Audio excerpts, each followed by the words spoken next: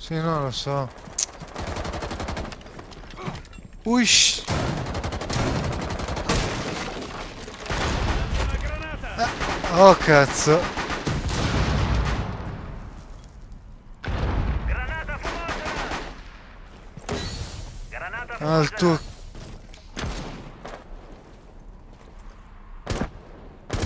Dai! Cosa? Era palesemente un colpo in testa, c'era solo quello?